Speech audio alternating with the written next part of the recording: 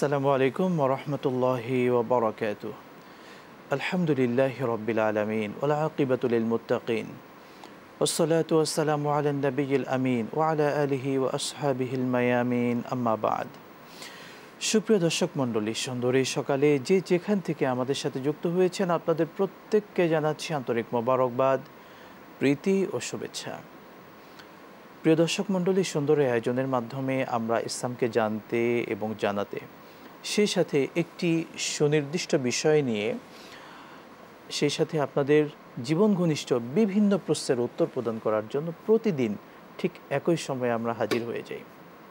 প্রিয় দর্শক মণ্ডলী, আপনাদের সাথে আছি আমি মোহাম্মদ আল আমিন খান।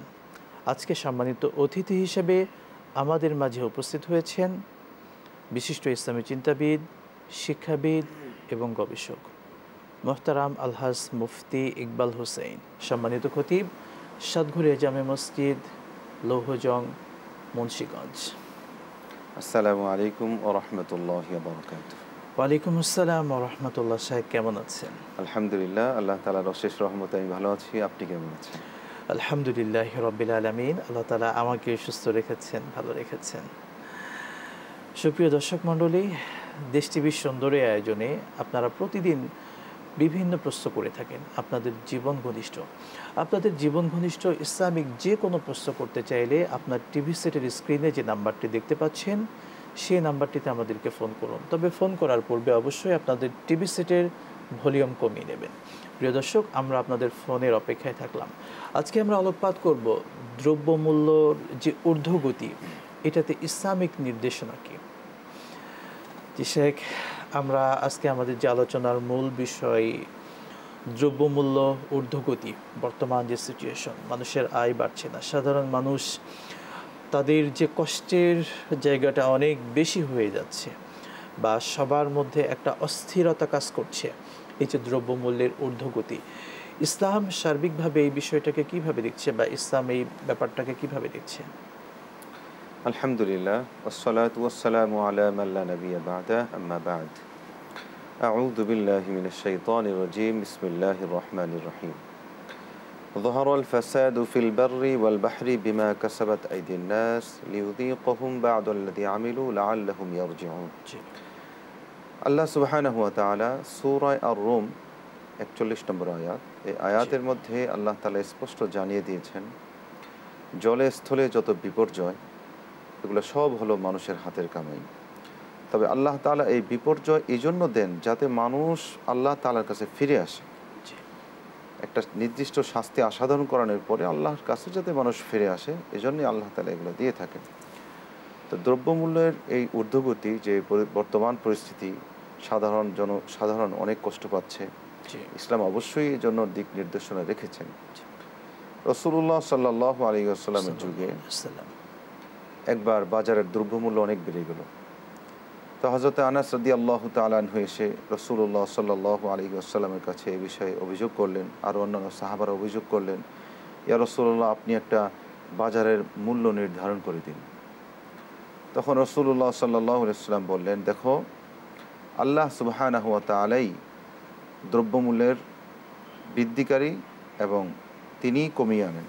এটা সম্পূর্ণ আল্লাহ সুবাহানা হুয়া তালার হাতে। তবে হ্যাঁ আমি এটা চাই না যে কোনো মানুষ যাতে আমার ব্যাপারে আল্লাহ তালার কাছে অভিযোগ করে যে তাদের জানমাল অথবা তাদের দ্রব্যমূল্য এসব বিষয়ে আমি হস্তক্ষেপ করেছি আমি জুলুম করেছি এমন কোনো অভিযোগ যাতে আল্লাহ তালার কাছে আমার ব্যাপারে কেউ উত্থাপন করতে না পারে। এই জন্য আমি এটা করব না। তো দেখেন এখানে রসুল্লাহ সাল্লাহ ইসলাম কিন্তু হস্তক্ষেপ করেননি।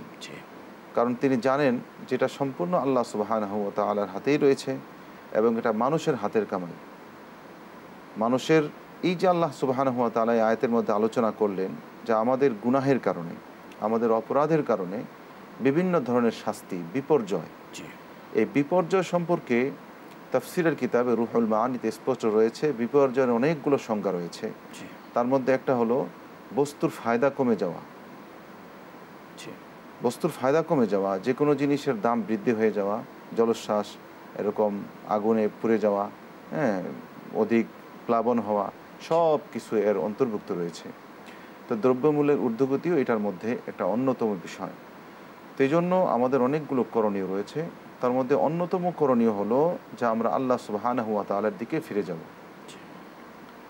এরপরে দেখেন হজরত ওমর ফারুক রাদি আল্লাহ তালানহুর যুগে তাও একবার বাজারে দুর্ভিক্ষ দেখা দিল। দেখা দেওয়ার ফলে তখন মানুষ এসে বলল অমরুল মিনিন যে অমুক গোষ্ঠের দোকানদার তার গোষ্ঠের দাম বাড়িয়ে দিয়েছে। তা আমিরুল মিনিন বললেন যে তোমরা এটা কমিয়ে দাও। বলে কীভাবে আমরা কমিয়ে দেব? বলে তার কাছ থেকে কিনা ছেড়ে দাও। ছেড়ে দাও। বর্তমান পরিস্থিতিতে আমাদের অবস্থা এমন হয়েছে যে আমরা যে জিনিস লাগবে একটা আমরা সেটা দশটা কিনে রেখে দিই। এক্ষেত্রে আমাদেরও কিছু অবহেলা বা আমাদেরও কিছু এক্ষেত্রে অনেকটা দায় আমরা এড়াতে পারি না। যখন শুনি যে বাজারে তেলের দাম বেড়ে যাবে তো তেল কমিয়ে দেব কেনা সেটা না করে আমরা আরও বেশি করে কিনে রাখি। এই যে একটা অপচয়। আল্লাহ সুবাহানা হুয়া তালা কোরআন হাকিমের মধ্যে স্পষ্টভাবে বলেছেন ইন্নাল কানু ইখওয়ান নিশ্চয়ই অপচয়কারীরা হলো শয়তানের ভাই। অন্য আয়াতে আল্লাহ সুবাহানা হুয়া তালা মুমিনদের পরিচয় রহমানের গোলামদের পরিচয় বর্ণনা করার ক্ষেত্রে আল্লাহ তালা স্পষ্টভাবে বলেছেন যে তারা যখন ব্যয় করে তখন তারা অতিরিক্ত করে না আবার কৃপণতাও করে না। বরঞ্চ তার মধ্যম পন্থা তারা অবলম্বন করে। অবলম্বন করে। এক্ষেত্রে আমাদের অবশ্যই করণীয় রয়েছে যে আমরা কিনা কমিয়ে দিব তাহলেই জিনিসের দাম কমে যাবে।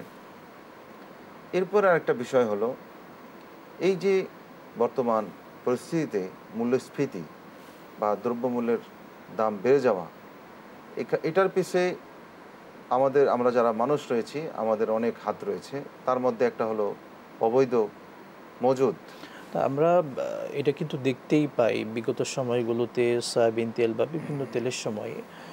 যখন দেশে একটা সংকট তৈরি হয়েছে, সে সময় বিভিন্ন জায়গাতে খাটের নিচেও কিন্তু আপনার তেলের এক কথাই যে চলে আসছে খাটের মধ্যে তেলের খনি, এই কথাগুলোও চলে এসেছে। আমরা দেখতে পেয়েছি অবৈধভাবে প্রচুর তেলকে মজুত করে রেখেছে, অথচ দেশের সাধারণ মানুষ অনেক কিন্তু কষ্টের দিন অতিপাত করেছে। তো এই যে ব্যাপারগুলো অবৈধভাবে মজুত করে রাখা ইসলাম এই ব্যাপারটাকে কীভাবে দেখে বা এটার দৃষ্টিভঙ্গিটা কি? অবৈধ মজুদ একটা সামাজিক বিধি। এবং রসুল্লাহ সাল্লাহ আলাইসলাম এই সম্পর্কে অত্যন্ত কঠোর ভাষায় হুঁশিয়ার বাণী উচ্চারণ করেছেন। যারা মানুষদেরকে কষ্ট দেওয়ার জন্য বাজারে কৃত্রিম সংকট সৃষ্টির জন্য যারা মজুদ করবে আল্লাহ তাআলা এদের নফল ফরজ ওয়াজিব কোনো আমলই কবুল করবেন না।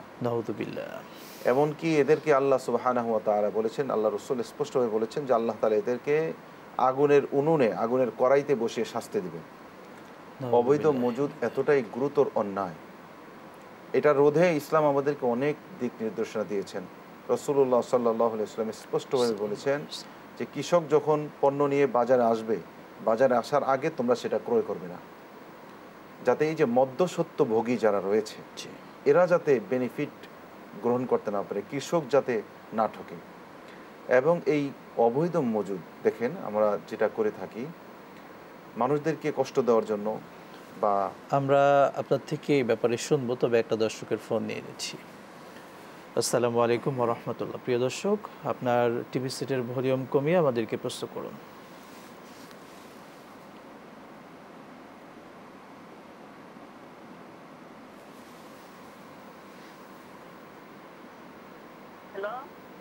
জি প্রশ্ন করুন।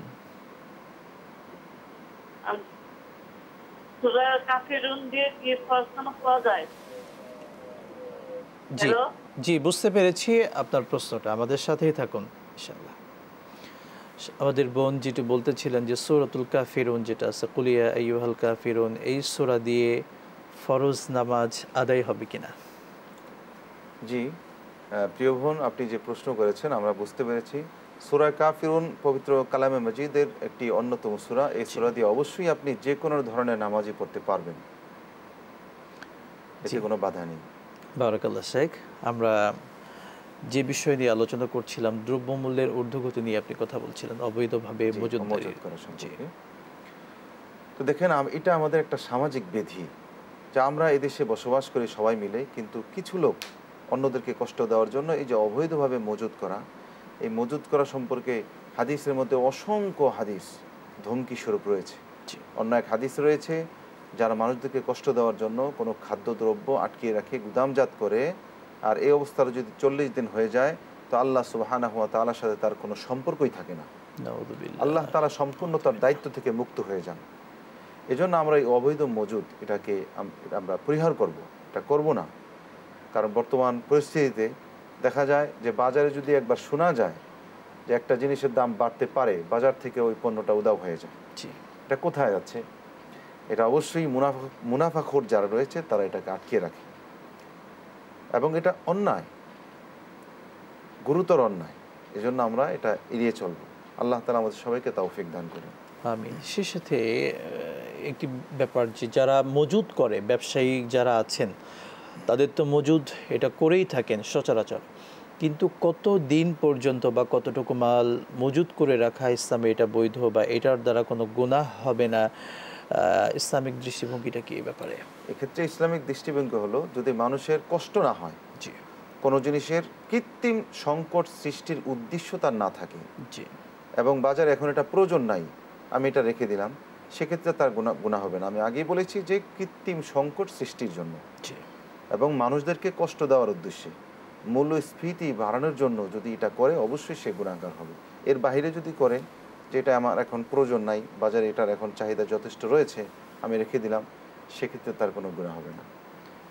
বারাকাল্লাহ সুন্দর বলছিলেন ইসলামী ব্যাংকে টাকা রাখার পরে যে লভ্যাংশ ব্যাংক কর্তৃপক্ষ দিয়ে থাকে গ্রাহকদেরকে সেই টাকাগুলো জায়েজ কিনা? এই প্রশ্নটা প্রায় আমরা পেয়ে থাকি। জি। আসলে বাংলাদেশে ব্যাংকিং ব্যবস্থা সম্পূর্ণ ইসলাম ভিত্তিক কোনো ব্যাংকিং ব্যবস্থা আমাদের তাহকিক মতে নেই। ইসলামী ব্যাংক বলেন আরও যত ইসলামিক নামধারী ব্যাংক বলেন তারা হান্ড্রেড পারসেন্ট সরিয়া ভিত্তিক লেনদেন করতে তারা সক্ষম নয়। এই জন্যে এই ব্যাংকগুলো আমাদেরকে যেই লভ্যাংশের নামে সুদ প্রদান করছে এটাকে আমরা হান্ড্রেড পারসেন্ট সুদ মনে করি এবং এটা পরিহার করতে হবে। যদি বাধ্য হয়ে কাউকে নিতেই হয় তাহলে সওয়াবের নিয়ত ছাড়া।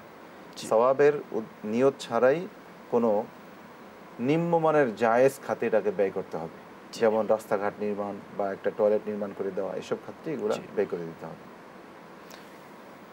আমরা একটা ফোন নিয়ে নিচ্ছি। আসসালামু আলাইকুম রহমতুল্লাহ। দর্শক ফোন প্রশ্ন করুন। আসসালামু আলাইকুম। ওয়ালাইকুম আসসালাম। আপনার গত তিন দিন আগে আপনি যে বললেন যে মুফতি সাহেব বললেন যে মেয়েরা মারা গেলে স্বামী নাকি তাকে দেখতে পারবে না বিবাহ জি। এটা কি সহি হাদিসের? বললে তো অন্যজন মানে রাগারাগি করছে শুনলে কথা। আমি যে মুক্তি জন্য আমি একটা দেখলাম কি দিচ্ছি। জি। সত্য। জি শুক্রিয়া। আমাদের সাথেই থাকুন ইনশাআল্লাহ উত্তর পেয়ে যাবেন বোন। আপনি আশা করি বুঝতে পেরেছেন যে স্বামী স্ত্রী মারা গেলে স্বামীরা স্ত্রীকে দেখতে পারবেন না। এই ব্যাপারটি নিয়ে বোন জানতে চেয়েছেন। যে প্রিয় বোন, আপনার প্রশ্ন আমরা বুঝতে পেরেছি। আসলে এটা একটা কুসংস্কার। সারা জীবন যে স্বামী স্ত্রী একই সাথে, একই খাটে বসবাস করে এসেছে, এত সোহাগ, এত সৌহার্দ্য এবং এই স্বামী স্ত্রীর মধ্যে যে সোহাগ, ভালোবাসা, এটা কিন্তু কোনো মানুষের রচনা নয়। এটা আল্লাহ সুবহানাহু ওয়া তাআলা বলেছেন ওয়ামিন আয়াতিহি আন খলাকাকুম মিন আনফুসিকুম। যা আমার নিদর্শন সমূহ থেকে অন্যতম একটি নিদর্শন হলো যে আমি তোমাদের মধ্য থেকেই তোমাদের স্ত্রীকে বানিয়েছি। এই জন্যই স্ত্রীকে অর্ধাঙ্গিনী বলা হয়। আমাদের মধ্য থেকেই আল্লাহ সুবাহানা হুয়া তাআলা সৃষ্টি করেছেন এবং বলেছেন ওজা আল্লাহ বাইনাকুম মাবাদ্দাতা রহমা। তোমাদের মধ্যে আমি প্রেম ভালোবাসা সোহাগ হ্যাঁ এগুলো আমি নিজে সৃষ্টি করে দিয়েছি। সারা জীবন যেখানে আমি একসাথে থাকলাম, তার সাথে আমি উঠা বসা করলাম, মৃত্যুর পরে আমি তাকে দেখতে পারব না, স্পর্শ করতে পারব না। এটা একটা বিবেকহীন কথা। এটা সম্পূর্ণ ভুল। অবশ্যই স্বামী স্ত্রীকে দেখতে পারবে হ্যাঁ স্পর্শ করতে পারবে, কবরে নামাতে পারবে। তবে হ্যাঁ যদি অন্য মহিলারা গোসল দেওয়ার মতো থাকে, তাহলে স্বামী গোসল দিবে না। গোসল দেওয়াটা পরিহার করবে।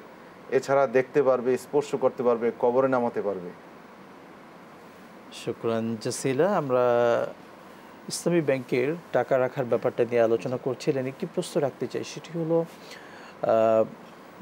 বন্ড যেগুলো আছে সরকারিভাবে যে বন্ডগুলোর প্রত্যেক মাসের শেষে একটা লভ্যাংশ প্রদান করে থাকে সেটা জায়েজ কিনা ইসলামে? এক্ষেত্রে তাহকিকি মাসালা হলো মাসালা হলো এই যে বন্ড রাখার কারণে যে লভ্যাংশ আমাদেরকে জি। দিয়ে থাকে এটা সম্পূর্ণ সুদ এবং এটা আমাদেরকে পরিহার করে চলতে হবে। বারাকাল্লাহ শেখ সেই সাথে আমরা দ্রব্যমূল্যের ঊর্ধ্বগত নিয়ে কথা বলছিলাম। বর্তমান সিচুয়েশন তো খুব কঠিন একটা পরিস্থিতি দাঁড়িয়ে গিয়েছে। সাধারণ মানুষ যারা আছেন, তাদের খুবই কষ্টে দিনগুলো দিনগুলো কিন্তু পার হচ্ছে। তো এই দ্রব্যমূল্য নিয়ন্ত্রণে বা এই সিচুয়েশনে আমাদের যারা সাধারণ মানুষ আছে, তাদের করণীয় কি বা তারা কি করতে পারে? এক্ষেত্রে আমাদের করণীয় হলো আমি তো একই বললাম যে সর্বপ্রথম আমরা আল্লাহ তালার কাছে দিকে ফিরে যাব বেশি বেশি দোয়া কান্নাকাটির মাধ্যমে। দেখেন আল্লাহ সুবাহানা হুয়া তালা হাদিস এ কুদসি যেটা সরাসরি আল্লাহ সুবাহানা হুয়া তালা আল্লাহ রসুলের প্রতি অবতীর্ণ করেছেন সেই হাদিসের মধ্যে স্পষ্টভাবে বলেছেন ইয়া ইয়াবনা আদম তাফার রগলি ইবাদাতি আমলা সদরুকা গিনা যে হে বনি আদম তোমরা আমার ইবাদতের জন্য অবসর হয়ে যাও ঝামেলা মুক্ত হয়ে যাও। আমি তোমাদেরকে দুটা পুরস্কার প্রদান করব। এক নম্বর পুরস্কার হলো আমি তোমার হৃদয়কে তোমার আত্মাকে আমি ধনাঢ্যতা দ্বারা ভরে দেব। তোমার হৃদয়ে কোনো অভাব থাকবে না। নাম্বার দুই পুরস্কার হলো আমি তোমার অগোছালো কাজগুলোকে গুছিয়ে দেব। দেখেন এখন আমরা এমন এক পরিস্থিতি এমন এক সময় পার করছি যখন সমস্ত মানুষ সব কাজ অনায়াসে করতে পারে। আমি আমার বিনোদন আমি আমার ব্যবসা বাণিজ্য আমি আমার প্রয়োজনীয় কাজ সব কিছুর জন্য আমার সময় রয়েছে। কিন্তু আমি আল্লাহ সুবাহানা হুয়া তাআলার জন্য যে নির্ধারিত সালাদ সাউম যেগুলো রয়েছে ইবাদত আমি এগুলোর জন্য আমি অবসর পাই না। বললেই বলে যে আমার তো সময় নেই। অথচ দেখেন এটা একটা শাস্তি আল্লাহ তালার পক্ষ থেকে যে তুমি আমার জন্য অবসর হচ্ছ না তোমাকে আমি দুইটা শাস্তি প্রদান করব। নাম্বার এক তোমার হৃদয়কে আমি দারিদ্রতা দিয়ে ভরে দেব। সবসময় তোমার সামনে অভাব থাকবে। নাম্বার দুই তোমার অগোছালো গোছালো কাজগুলোকে আমি অগোছালো বানিয়ে দেব। এটাই হলো আমাদের জন্য একটা চরম শাস্তি। তো এই ক্ষেত্রে আমাদের অনেক কিছু করণীয় রয়েছে। তার মধ্যে একটা হলো এই যে আমরা বেশি থেকে বেশি আল্লাহ তালার হকগুলা পুরা করব।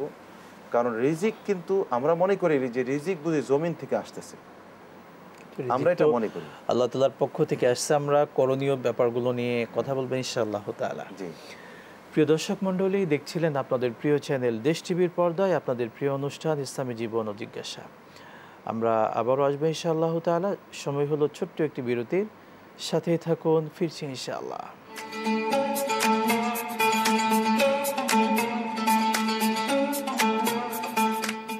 বিরতির পর আবারও ফিরে এলাম আপনাদের প্রিয় চ্যানেল দেশ টিভির পর্দায় আপনাদের প্রিয় অনুষ্ঠান ইসলামী জীবন ও জিজ্ঞাসায়। প্রিয় দর্শক মণ্ডলী, আপনাদেরকে আবারও স্বাগত জানাচ্ছি। আমাদের বিজ্ঞ শাহেক আপনাদের জীবন ঘনিষ্ঠ প্রশ্নের উত্তর প্রদান করছিলেন। আপনারা আমাদের কাছে ফোন করতে চাইলে আমাদের টিভি সেটের স্ক্রিনে যে নাম্বারটি দেখতে পাচ্ছেন সেই নাম্বারটিতে ফোন করুন। শেখ আমরা বিভিন্ন বিষয় নিয়ে কথা বলছিলাম। এর মধ্যে আপনি আলোচনা করছিলেন দ্রব্যমূল্যের যে ঊর্ধ্বগতি এই সিচুয়েশনে আমাদের করণীয় কি? জি। তো এক্ষেত্রে আমি যেটা আলোচনা করতেছিলাম জি। যে সম্পূর্ণ যেহেতু এটা আল্লাহ সুবাহানা হুয়া তালার নিয়ন্ত্রণকারী তো এক্ষেত্রে আমাদের এক নম্বর করণীয় হলো যে আমরা ইবাদত বন্দিগির পরিমাণ বাড়িয়ে দেব। নাম্বার দুই হলো দেখেন ইসলামের যে দাম নীতি ইসলামের যে মূল্যনীতি এটা হলো একটা স্বাভাবিক মূল্যনীতি। ইসলাম চায় যে স্বাভাবিক বাজার থাকা অবস্থায় এখানে কোনো হস্তক্ষেপ করবে না। করবে না। এবং এটার মূলনীতি হলো যিনি উৎপাদক তার বিবেচনা অনুযায়ী তার কাছে এটা ছেড়ে দেওয়া হবে। যদি এক্ষেত্রে সরকার হস্তক্ষেপ করতে চায় তাহলে হয়তো সে এই প্রোডাক্টের মান কমিয়ে দিতে পারে। এজন্য এটা সরকার স্বাভাবিক অবস্থায় করবে না। এটাই হলো ইসলামিক দিক নির্দেশনা। তবে হ্যাঁ যদি এমন অবস্থা হয়ে যায় যে ব্যবসায়ীরা যোগ সাযোগে কোনো একটা জিনিসের আমরা দর্শকের একটা ফোন নিয়ে নিচ্ছি এরপরে আপনার কাছে আসবে ইনশাআল্লাহ। আসসালামু আলাইকুম প্রিয় দর্শক প্রশ্ন করুন। সালাম আলাইকুম রহমতুল্লাহ। ওয়ালাইকুম আসসালাম। আমার দুটা প্রশ্ন আর কি আমি বড়া কান্তরিত প্রশ্নাবলী করছি। আমি আমার বাসা গিয়ে দেখি পুরুষের সাথে ব্যবসা করছে। আচ্ছা। আমার তার আর একটা অভ্যাস আছে পাতলারা। চুরির অভ্যাস। বাইরেও করে ঘরেও করে। এটা অবস্থা আমি কি করব? আমার তিনটা বাচ্চা আছে। জি। আমি প্রথম প্রশ্ন বুঝতে পেরেছি। আপনার কি প্রশ্ন এই দুইটাই ভাই? জি আমাদের সাথেই থাকুন ইনশাআল্লাহ। শেখ আপনি বুঝতে পেরেছেন আশা করছি ভাইয়ের বাসায় যে ওয়াইফ থাকে উনি যখন বাসার বাইরে যায় তখন ওয়াইফ অন্য পুরুষের সাথে যে ব্যাপারগুলো থাকে এবং এটা এক ব্যাপার। দুই নম্বর হলো তার মধ্যে আরেকটা বদগুণ হচ্ছে বাসা থেকে চুরি করা বা কোনো জিনিস ছড়িয়ে ফেলা এই ব্যাপারগুলো থাকে। তো এই দুইটি লক্ষণ বাসায় দেখতে পাচ্ছেন। এই সিচুয়েশনে তার করণীয় কি? বিশেষ করে এই সমস্যাটা কিন্তু বর্তমানে আমাদের সমাজে অনেক ফ্যামিলিতে রয়েছে। অনেক পরিবারের সংসার এই ব্যাপারগুলো কিন্তু দেখা যায়। এই পরকীয়ার মাধ্যমে সংসার কিন্তু ভেঙে যাচ্ছে বা একটা অস্থিতিশীল পরিবেশ তৈরি হয়ে যাচ্ছে সংসারের মধ্যে। এই সিচুয়েশনে করণীয় কি? জি আলহামদুলিল্লাহ প্রশ্ন বুঝতে পেরেছি। তো আসলে এই যে পরকীয়ার যে জি। এটা একটা বর্তমানে ভাইরাস ব্যাধির মতো ছড়িয়ে পড়ছে যেটা ভিনদেশি কালচার আমরা আমাদের সমাজে নিয়ে এসেছি। এটা আমাদের দেশের কালচার না এবং ইসলামিক কালচার তো নয়। জি। এটাকে আমরা আমদানি করেছি। তো এক্ষেত্রে আমাদের সর্বপ্রথম করণীয় হলো যে আমরা বাসার মধ্যে ঘরের মধ্যে ইসলামিক তালিম চালু করব। জি। ইসলামিক বিভিন্ন কোরআন এবং সুন্নার বিভিন্ন বিষয়গুলো আমরা আমার আমাদের আহলিয়া আমাদের স্ত্রী ছেলে মেয়ে সবাইকে নিয়ে তালিম শুরু করব। জি। এটা একটা উপদেশ। কোরআনে হাকিমে স্ত্রীদেরকে যেই সংশোধনের পন্থা আল্লাহ সুবাহানা হুয়া তালা আলোচনা করেছেন তার মধ্যে প্রথম হলো স্ত্রীকে সৎ উপদেশ দেওয়া। তাকে বুঝিয়ে বলা। একেবারে ফ্রেশ মাইন্ডে খুব সুন্দরভাবে বুঝানো। আল্লাহ না করুন যদি এই বুঝানোতে তার কোনো কাজ না হয়। জি। তাহলে দ্বিতীয় স্টেপ কোরআন যেটা আলোচনা করেছেন সেটা হলো বিছানা ত্যাগ করা। জি। অর্থাৎ একই বিছানায় না ঘুমানো যাতে তার মধ্যে একটা আত্মমর্যাদা বোধ জেগে ওঠে যে আমি কি এমন অন্যায় করলাম অবশ্যই আমার কাজটা মনে হয় গুরুতর না হলে আমার স্বামী কেন আমাকে বিছানা আলাদা করে দিল? জি। যদি গায়রত বা আত্মমর্যাদা তার মধ্যে থাকে আশা করি সে ভালো হয়ে যাবে। এরপরেও যদি সে ভালো না হয় পবিত্র কালাম মসজিদের তিন নম্বর স্টেপ আল্লাহ সুবাহানা হুয়া তালা বর্ণনা করেছেন যে তাকে ছোট লাঠি মানে একেবারে ছোট লাঠি যেটা দ্বারা আঘাত করা তার মানে তাকে কষ্ট দেওয়া নয় বরঞ্চ আমি যে তোমার প্রতি বিরক্ত এই বিরক্তি বোধটা তাকে বুঝিয়ে দেওয়া। বুঝিয়ে দেওয়া। যদি সে এটার উপযুক্ত হয়। যদি এর মাধ্যমে ভালো না হয় তাহলে চতুর্থ নম্বর স্টেপ কোরআনে হাকিমের মধ্যে রয়েছে যে স্বামীর পক্ষে কিছু স্ত্রীর পক্ষে কিছু তাদের উভয় ফ্যামিলি মিলে একটা এরকম আলোচনায় বসা। এই আলোচনার দ্বারা আল্লাহ সুবহানাহু হুয়া তাআলা হয়তো তাদেরকে আবার সংশোধন করে দিবেন মিলিয়ে দিবেন। এর পরবর্তী যদি স্টেপ চলে যেতে হয় সেটা হলো বিচ্ছেদের স্টেপ এটা অনেকেই যেতে চাইবে না এবং এটা যাওয়া উচিত নয়। এটা অত্যন্ত অত্যন্ত গর্হিত একটি কাজ। তো আশা করি এই চারটি স্টেপ আল্লাহ তালা কোরআন হাকিমে বলেছেন এর মাধ্যমেই সংশোধন হয়ে যাবে। এবং তার পাশাপাশি কোনো বিজ্ঞ শাইখের কাছে হ্যাঁ তার স্ত্রীকে নিয়ে ওয়াজ শোনাইতে পারে নিয়ে যেতে পারে বুঝাইতে পারে এটা একটা স্টেপ হতে পারে। এবং এই যে স্ত্রীরা যারা এই কাজ করছেন যে স্বামীর হক তিনি নষ্ট করছেন পরকিয়ার মাধ্যমে স্বামীর হক নষ্ট করছে এই জন্য আল্লাহ সুবাহানা হুয়া তালার কাছে কঠিন জবাবদিহিতা তাকে দিতে হবে। এবং এই যে জেনার গুণা হচ্ছে তার ময়দানে মাহসারে আল্লাহ আকবার রসুল্লাহ সাল্লাহ আলী আসাল্লাম তিনি যখন মেয়েরাজ থেকে আসলেন এসে বললেন যে দেখো হে নারীরা তোমরা বেশি থেকে বেশি সৎকা করো। বলছে রসুল্লাহ কী কারণে? কারণ আমি দেখেছি তোমাদেরকে জাহান্নামের মধ্যে তোমাদের সংখ্যাটাই সবচেয়ে বেশি। বেশি। তো ওই মহিলারা বলল রসুল্লাহ এটার কারণ কি? বলল দুইটা কারণ। এক নম্বর কারণ হলো তোমরা তাকসুরুনাল্লাহ আনা তোমরা বেশি থেকে বেশি অভিশাপ করে থাকো। স্বামী ছেলে ভাই কাউকে বাদ দেয় না। মুখে যা আসে তাই বলে ফেলে। তাদের মুখের লাগাম অনেকটাই শিথিল। নাম্বার দুই হলো অর্থাৎ ফুরনাল আশির তোমরা স্বামীর অবাধ্যতা করে থাকো। একজন স্বামী একজন স্বামী স্ত্রীর জন্য কি না করে বছরের তিনশো চৌষট্টি দিন যদি স্ত্রীকে সুখে রাখে, একদিন যদি কোনো কারণে সুখে রাখতে পারল না, তাহলে তার মুখ দিয়ে না শুকরি বের হয়ে যায় যে তোমার সংসারে আমি কোনো দিন শান্তি পেলাম না। এই যে আঘাতটা, কত বড় আঘাত স্বামীর হৃদয়ে লাগল, এটা আল্লাহ সুবহানাহু ওয়া তাআলা কীভাবে মেনে নেবেন? আমরা এই ব্যাপারে আপনার কাছে বিস্তারিত শুনব, তবে একটা ফোন নিয়ে নিচ্ছি এর পূর্বে। আসসালামু আলাইকুম, প্রিয় দর্শক, প্রশ্ন করুন। ওয়ালাইকুম আসসালাম। জি। প্রশ্ন করুন দর্শক। ওয়ালাইকুম সালাম আমি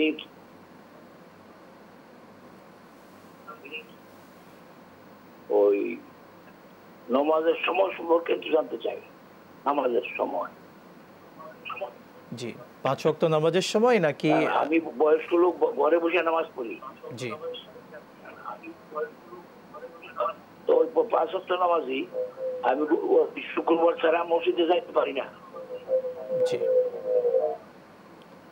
আচ্ছা। ঘরে বসে নামাজ পড়ি কিন্তু আমার স্থানীয় মসজিদে ইমাম সাহেব বলছে যে ওই যে প্রথম আলো প্রথম আলো পত্রিকা আমাকে একটা সময় দেয় তারপরে ইয়ে, নামাজ হয়ে সময় হয়ে যায় আর চোরে দেখি ওই ইয়ে- ইয়ে পর্যন্ত আমার অপেক্ষা করতে হবে আগান পর্যন্ত নাকি আমি আগে করতে পারব।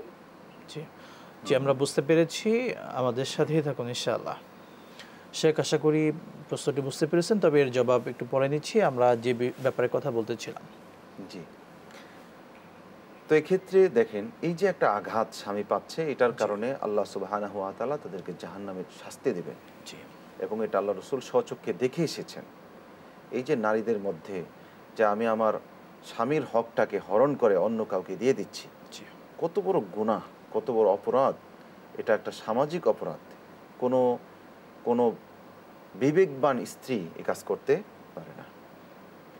এবং স্বামী স্ত্রী আল্লাহ সুবহানাহু ওয়া তাআলার সৃষ্টিসমূহের মধ্যে একটা অন্যতম সৃষ্টি অন্যতম নিদর্শনা।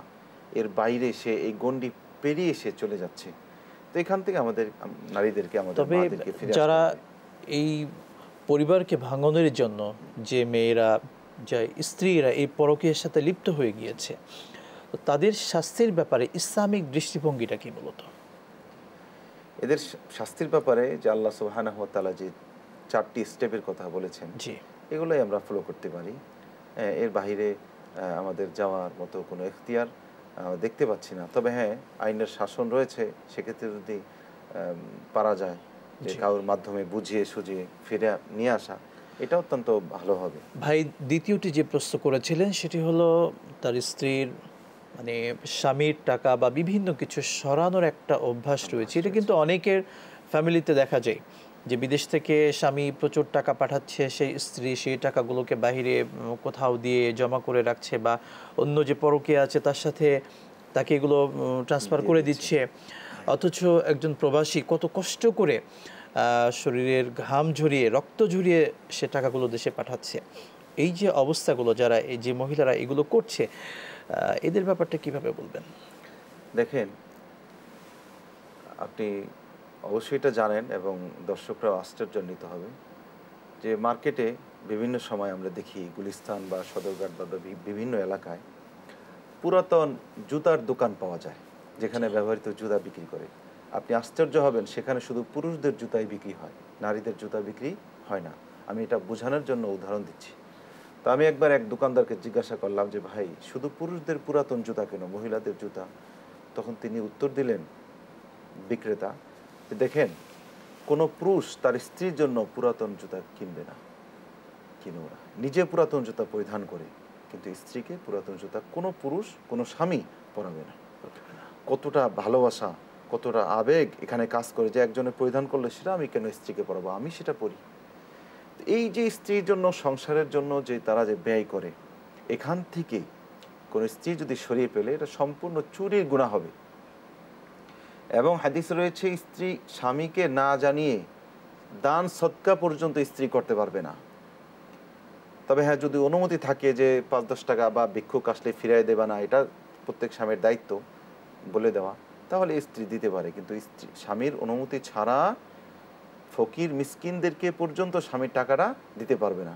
সেক্ষেত্রে অন্য কাউকে নিয়ে দেওয়া বা নিজের ফ্যামিলিতে এটা পাচার করা, এটা অত্যন্ত গুরুতর, চুরির অপরাধ তার হবে এবং এই জন্য আল্লাহ সুবাহানা হাত তালার কাছে তাকে শাস্তি পেতে হবে। শুক্রিয়া আমরা যে প্রশ্নটি এর আগে পেলাম একজন মুরব্বী বয়স্ক ব্যক্তি তিনি অসুস্থতার কারণে বাসাতেই নামাজ আদায় করেন। শুধু জুমার নামাজটা মসজিদে গিয়ে আদায় করার চেষ্টা করেন। জোহরের নামাজের ক্ষেত্রে তিনি আজানের পূর্বেই কি নামাজ আদায় করতে পারবেন কি না তো এই ব্যাপারটা নিয়ে একটু জানাবেন। জি ভাই নামাজের সময় সম্পর্কে জানতে চেয়েছেন। তো নামাজের সময় যেটা ফিকাহের কিতাবে রয়েছে সেটা হলো সূর্যের সাথে সম্পৃক্ত। তো এটা অনেকেই এখন বুঝবে না বা এতটা খেয়াল করার যেহেতু বাসার মধ্যে থাকে। এই জন্য আমাদের নামাজের সময়সূচি রয়েছে। ইসলামিক ফাউন্ডেশন থেকে নামাজের সময়সূচি মোবাইলের অ্যাপ রয়েছে সময়সূচি কখন থেকে কখন শেষ এটা ফলো করতে হবে। কেউ যদি মসজিদে যেতে একেবারেই অপরাগ হয় তাহলে সে আজানের অপেক্ষায় না থেকে ওয়াক্ত শুরু হওয়ার পরেই নামাজ আদায় করে নিতে পারবেন। শুক্রান জাজিলা সেই সাথে যে বাসায় শুধু অন্যান্য দিনের নামাজগুলো পড়ছে শুক্রবারের নামাজটা মসজিদে আদায় করছে এক্ষেত্রে ইসলামিক দৃষ্টিভঙ্গি বা কোনো ক্ষতি হবে কিনা? যদি সে অপরাধ একেবারেই অপরাগ হয় যে যেতে পারছে না এত অসুস্থতা শুক্রবার হয়তো কারও সাহায্যের মাধ্যমে সে গেল। তাকে অবশ্যই মসজিদে গিয়ে নামাজ আদায় করা এটা অত্যন্ত অত্যন্ত একটি ভালো কাজ উত্তম কাজ। রসুল্লাহ সাল্লাহ ইসলামের যুগে এক অন্ধ সাহাবি আল্লাহ রসুলের কাছে এসে বলল রসুল্লাহ আমি তো অন্ধ। আমি কি ওয়াক্তের নামাজগুলো বাসায় পড়ার অনুমতি আমার জন্য রয়েছে? প্রথমে রসুল্লাহ সাল্লাহ ইসলাম বললেন হ্যাঁ তোমার জন্য বাসায় পড়ার অনুমতি রয়েছে। এরপরেই আবার বললেন দাঁড়াও তোমার বাসা থেকে কি মসজিদের আজান শোনা যায়? ওই অন্ধ সাহাবি বললেন ইয়া রসুল্লাহ শোনা যায়। তখন তিনি বললেন না তোমার জন্য অনুমতি নেই। তুমি মসজিদে এসে নামাজ পড়বে এরপরে ওই সাহাবি একটা পন্থা অবলম্বন করলেন যে মসজিদ থেকে বাসা পর্যন্ত একটি সুতা তিনি টানিয়ে নিলেন ওরা ধরে ধরে তিনি চলে আসতেন। এই জন্য আমাদের করণীয় হলো আমরা অসুস্থতার মাত্রা যদি এতটাই বেশি না হয় যে মোটামুটি যাওয়া যায় তাহলে অবশ্যই চেষ্টা করব মসজিদে গিয়ে নামাজ আদায় করা। কারণ একা নামাজ আদায় করার চেয়ে মসজিদে গিয়ে নামাজ আদায় করলে আল্লাহ রসুল বলেছেন কম পক্ষে সাতাশ গুণ বেশি। সুবহানাল্লাহ। শুক্রান জাসিলা চমৎকার উত্তর দিচ্ছিলেন আমরা একটা ফোন নিয়ে নিচ্ছি। আসসালামু আলাইকুম প্রিয় দর্শক। আপনার টিভি সেটের ভলিউম কমিয়ে আমাদেরকে প্রশ্ন করুন। আসসালামু আলাইকুম। ওয়ালাইকুম আসসালাম। ভালো আছেন? আলহামদুলিল্লাহ। জি, আমি সৈয়দ মেহেদি হাসান বলছিলাম। আমার একটা প্রশ্ন ছিল। জি। আমার প্রশ্নটা হচ্ছে আমার ফ্যামিলিতে আর কি আমার হাজবেন্ড ওয়াইফ আমরা স্বামী স্ত্রী বাসায় আসার পর আমাদের মিল মহব্বতটা নষ্ট হয়ে যায়। মানে এক সময় ঝগড়াটা হয় বিভিন্ন করণীয় মহব্বত আমরা বুঝতে পেরেছি আমাদের সাথেই থাকুন। শেখ প্রশ্নটি আশা করছি বুঝতে পেরেছেন। আলহামদুলিল্লাহ। স্বামী স্ত্রী আল্লাহ সুবহানাহু ওয়া তাআলা এক অদৃশ্য মায়ায় গেঁথে দিয়েছেন ভালোবাসায় গেঁথে দিয়েছেন। এই ভালোবাসা যদি কমে যায় সেক্ষেত্রে আমাদের করণীয় হলো রসুল্লাহ সাল্লাহ ইসলামের আমল। রসুল্লাহ সাল্লাহ ইসলাম যখনই বাসায় প্রবেশ করতেন তিনি সবসময় আগে সালাম প্রদান করতেন স্ত্রীকে। আর এই সালামের যে আমলটি আল্লাহ রসুল স্পষ্ট বলেছেন আফসুস সালাম তোমরা সালামের প্রসার ঘটাও। এবং অন্য হাদিসে বলেছে যে আমি কি তোমাদেরকে এমন একটি আমল বলে দিব যার কারণে যার মাধ্যমে তোমাদের মধ্যে সম্প্রীতি ভালোবাসার সৃষ্টি হবে আর সেটা হলো তোমরা একে অন্যকে সালাম দাও? এই সালাম এটা হলো তাহিয়াতাম মিন ইংদিল্লাহ আল্লাহ তালার পক্ষ থেকে একটি সম্ভাষণ যেটা আল্লাহ তালা বান্দাকে শিখিয়েছেন। এই সালাম যদি সালামের প্রসার যদি বেশি বেশি ঘটে অটোমেটিক ভালোবাসার সৃষ্টি হয়ে যাবে। এই জন্যই কোনো বেগানা নারী পুরুষ একে অন্যকে সালাম দেওয়া নিষেধ যাতে তাদের মধ্যে ভালোবাসার সৃষ্টি না হয়ে যায়। অর্থাৎ যেই মহিলার সাথে আমি দেখা দিতে পারব না তাকে সালাম না দেওয়া। এই জন্য স্ত্রীকে সালাম দেব। আমরা অনেকেই স্বামীরা মনে করি যে স্ত্রীকে সালাম কেন দেবো? স্ত্রীরা আমাকে দেবে। বা একটা লজ্জার বিষয় এটা মোটেও লজ্জার নয়। হাদিসের মধ্যে এক মজার ঘটনা রয়েছে। রসুল্লাহ সাল্লাহ ইসলাম প্রায় সময় সব সময় তিনি ঘরে আসার সময় আগে সালাম দিতেন। একবার আম্মাজান আইসারাদি আল্লাহ তালানহা তিনি মনে মনে প্রতিজ্ঞা করলেন যে আজকে আমি সালাম দেব। তিনি পর্দার আড়ালে রুকিয়ে রইলেন। জিব্রাইল আমি জানিয়ে দিল ইয়া রসুল্লাহ আপনাকে কিন্তু ঠকানোর প্রস্তুতি সম্পন্ন। আপনি রেডি হয়ে যান। রসুল্লাহ সাল্লাহ ইসলাম দূর থেকে সালাম দিয়ে দিলেন আসসালামু আলাইকুম ইয়া আয়সা এবার আম্মাজান আয়সা ও আলাইকুম সালাম বলে তার মনটা খারাপ হয়ে গেল। আল্লাহ রসুল তো কাউকে মনে কখনোই আঘাত দিতেন না। তিনি বুঝতে পেরেছেন যে আম্মাজান আ- আয়সা কষ্ট পেয়েছেন। তো তিনি বললেন আয়সা আমার মেসোয়াকটা তো মসজিদে রেখে এসেছি আমি এটা একটু নিয়ে আসি। মেসোয়াক আনার নাম করে তিনি মসজিদ থেকে মেসোয়াক নিয়ে আসে। এবার আম্মাজান আয়সা তাকে আগা আগে আগে সালাম দিয়ে উৎফুল্ল ভাব প্রকাশ করলেন। এই যে স্বামী স্ত্রীর মধ্যে সালামের প্রতিযোগিতা এর মাধ্যমে দেখেন আল্লাহ রসুলের ঘরে দামি দামি আসবাবপত্র ছিল না। খাদ্যদ্রব্যের মজুদ ছিল না। দামি কোনো জীবন উপকরণ ছিল না, কিন্তু ভালোবাসার কোনো অভাব ছিল না। এই জন্য ভাই যে প্রশ্ন করেছেন, আপনার জন্য করণীয় হলো আপনি আপনার স্ত্রীকে বেশি থেকে বেশি সালাম প্রদান করবেন। আশা করি ইনশাল্লাহ আল্লাহ তালা এর মাধ্যমে ভালোবাসা সৃষ্টি করে দিবেন সেই সাথে দোয়া করতে পারেন আল্লাহ সুবাহানা হুয়া তালার কাছে যেন আল্লাহ তালা এই ব্যাপারটাকে উভয়ের মধ্যে পুনরায় সম্পর্ককে সুন্দর করে দেন এবং একে অন্যের যে ছোট ছোট ভুলগুলো আছে এগুলো আমরা ধরা থেকে বিরত থাকব। আল্লাহ তালা যেন সেই তৌফিক দান করেন আমি আমরা একটি বিরতিতে যাব, এরপরে আপনার থেকে আরও শুনব ইনশাআল্লাহ তালা প্রিয় দর্শক মণ্ডলী, দেখছিলেন আপনাদের প্রিয় চ্যানেল দেশ টিভির পর্দায় আপনাদের প্রিয় অনুষ্ঠান ইসলামী জীবন ও জিজ্ঞাসা। সময় হলো ছোট্ট একটি বিরতির। সাথেই থাকুন, ফিরছি ইনশাআল্লাহ।